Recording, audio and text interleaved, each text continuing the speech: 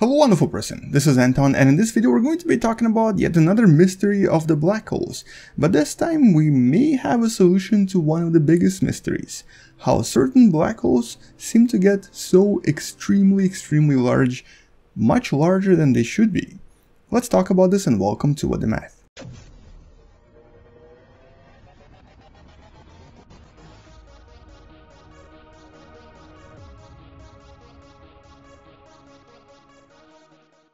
Now in the last few years, we've discovered quite a lot of really interesting black holes and more specifically super and ultramassive black holes and we were obviously even able to take a very beautiful picture of one of the nearby ones, the mysterious Powehi inside the galaxy known as M87 with the actual stream right here that you see being formed by the very powerful black hole itself. But despite uh, our understanding of what usually happens around these giants and us being able to even see what happens around the uh, black hole Sagittarius A star, which is the central black hole in our own galaxy, there are still a lot of mysteries. And more specifically, we've actually discovered some black holes that are just too big, too massive. Even this right here is a little bit more massive than it should be. In terms of the actual masses, it's roughly around 6 billion masses of the Sun, which is several thousand times higher than the Sagittarius A star black hole that you see right here. Just to give you an actual visual comparison, let's take our solar system and first place the Sagittarius A star, that's our own black hole in the center, with the Sun for comparison here, so you can see how big it is. And now let's place Powehi from the M87 galaxy for which we actually have to zoom out quite a lot here because it's going to swallow pretty much most of the solar system.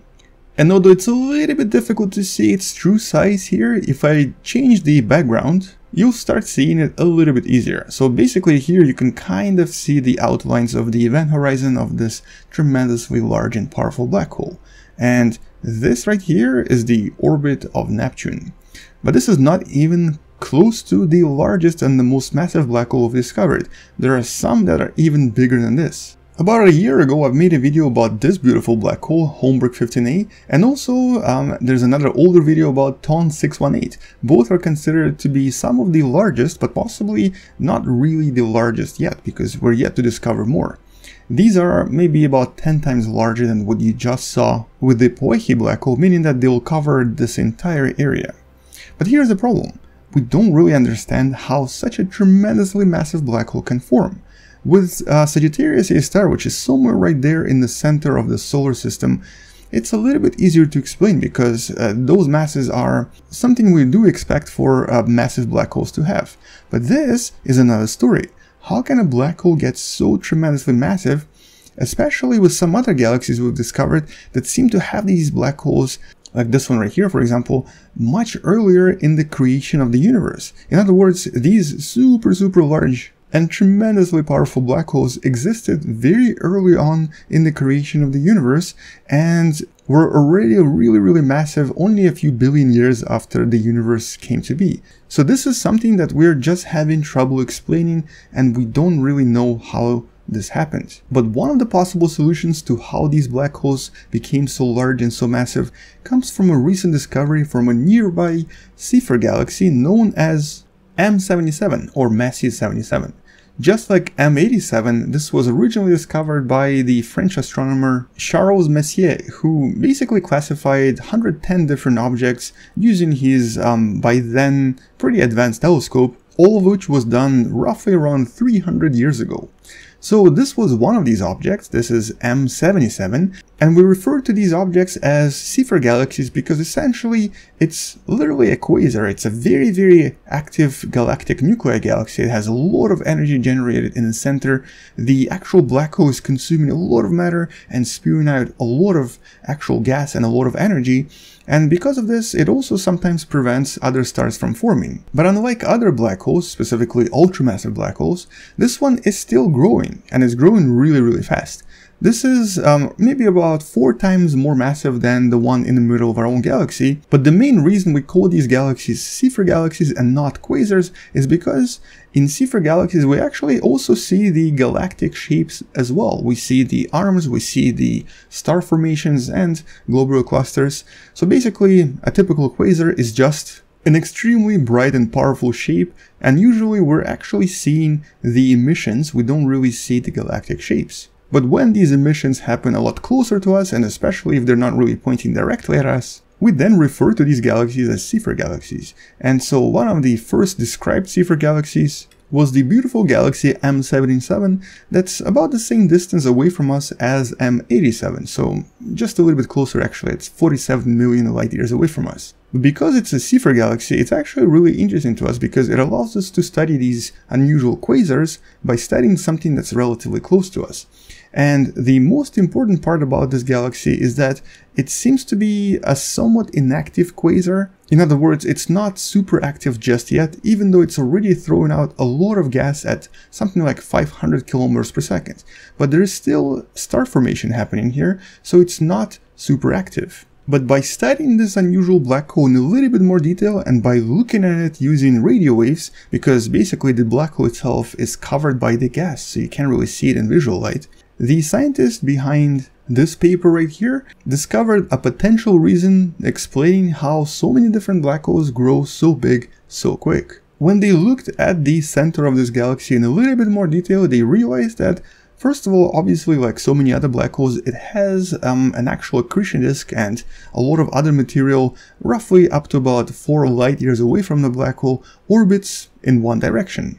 But to their surprise, once they looked at the distance from 4 to 22 light years, they discovered that the actual disk was orbiting in a completely other direction. In other words, the closest disk was orbiting this way, but the farther disk was orbiting the other way. And this gave the scientists a really good explanation for how one day this black hole is going to turn really massive as well. At some point, the two disks that are orbiting in completely opposite directions will very likely start sort of colliding with one another and all of the particles as they collide will lose all the velocity and eventually start slowly falling into the black hole making it grow in size and essentially increasing the actual power of the black hole, turning it into a very powerful quasar or very powerful Seyfert galaxy. So all of this matter, as it sort of combines with the black hole, will very likely add a tremendous amount of mass, turning it into one of the biggest black holes in the vicinity. And because the scientists were able to find at least one example of this rotation and counter-rotation disk inside of a uh, typical galaxy, it's very likely that these examples exist pretty much everywhere across the universe. And this is actually a very solid explanation to how a typical black hole grows in size and in mass suddenly and dramatically. This is actually a very good explanation and technically is the best explanation we have right now for how so many massive and extremely large black holes seem to exist early on in the existence of the universe. But I guess the next question is, so how exactly did this galaxy acquire a disk that spins in one way and another disk that spins in the opposite way? How is that even possible? Because technically these counter rotations have only been detected at much larger distances away from galaxies. And normally these are formed when a galaxy collides with another galaxy and inside of these galaxies it's very common to find very unusual motion that's otherwise hard to find in a typical galaxy. So if this is what happened here as well, it must have been a collision that happened between a large spiral galaxy like M77 and some sort of a smaller galaxy, uh, very likely similar to, for example, our own satellite galaxy Magellanic Cloud that will also one day collide with the Milky Way. Now here, if we try to simulate this, you'll notice that um, the collision might not actually create these uh, similar effects, but as you can see, the actual smaller galaxy gets absorbed inside the center of the galaxy, and there it could technically create this unusual accretion disk that we observed which is exactly what the scientists observed in M77. So this uh, observation does kind of provide at least one explanation for the mystery of these so-called ultramassive black holes existing very early in the universe. But it doesn't really tell us how all of this happened. I mean, galactic collision is one way, there's maybe something else that happened that caused this particular galaxy to have these two unusually shaped disks um, that we've observed, but it also might have created a completely new mystery as well. For now, the best thing that we can do is actually to keep looking at new galaxies and try to see if we can find these particular effects somewhere else out there which would definitely suggest that this is a common phenomenon that does happen in many different galaxies. And it would also explain how these tremendously massive black holes can form so quickly and with such tremendous ferocity. Now, what's interesting is that obviously this also suggests to us that at some point, our neighbor M77 is going to become really, really powerful. Now, will this have any effect on the Milky Way, specifically on planet Earth? That we don't really know. Right now it's still quite powerful but not powerful enough for us to actually feel any effects from it, but if this quasar becomes really really really strong and if the astrophysical jet starts pointing at us, that could be a problem. The mass extinction type of problem, because a typical quasar and the astrophysical jets produced by these quasars, if pointing at a certain planet, could totally strip that planet of atmosphere and destroy any life on that planet. Now the chance of that happening is actually pretty low, but it's always there. Anyway, it's not going to happen anytime soon though, and it will probably take a few thousand years before we reach the point where M77 does become quite active, but we're talking thousands of years, not millions and not billions. Humanity might still be around, and if so, we need to be ready if it decides to point in our direction. Now, it's very unlikely, but you never know. Anyway, on that note, once we learn more about this unusual phenomenon and discover why exactly M77 has such an unusual disk that orbits in a different direction, we'll come back and talk about this more.